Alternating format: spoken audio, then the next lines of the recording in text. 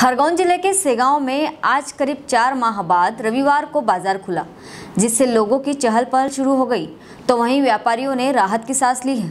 वहीं जिला कलेक्टर के निर्देश पर बाज़ार में बगैर मास्क पहनकर घूमने वाले लोगों पर प्रशासन ने सख्ती की है।